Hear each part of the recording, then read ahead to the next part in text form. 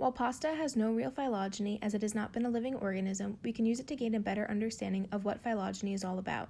Today we are going to look at a rooted phylogenetic tree of types of pasta. A rooted tree has a common ancestor for all organisms.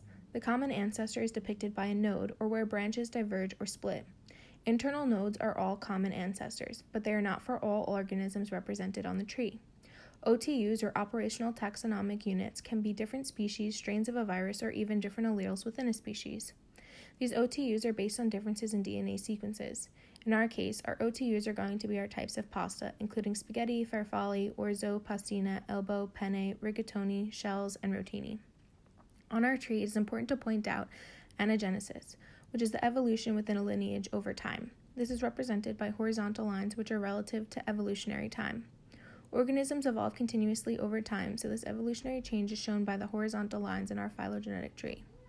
Cladogenesis is where we see one lineage branching into two. This leads to the branches in our tree, where evolution now occurs separately for two organisms, leading to biological diversity. In our tree, spaghetti is our outgroup. Our outgroup diverged from the common ancestor earlier than all other OTUs. The outgroup is useful in helping to compare distances between the other OTUs and developing an order of divergence.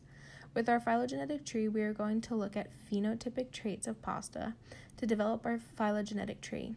At our first node, we have our common ancestor for all types of pasta. From here, we see the divergence of our outgroup based on the phenotypic trait of long. We also see a divergence of two other groups with the traits medium sized and small. From our medium branch, we diverge based on whether the pasta is tubular or flat. Tubular then branches based on the characteristics of straight or wavy. Our straight branch then diverges to give penne pasta and rigatoni. Penne is pointed, where rigatoni has a blunt end. Our wavy branch gives us elbow pasta and shells. Elbow pasta is whole, while shells are split. If we go back to our flat branch, we then see a divergence on the traits of spiral or bowed. Our spiral branch leads to Rotini, where our bowed branch gives us Farfalle.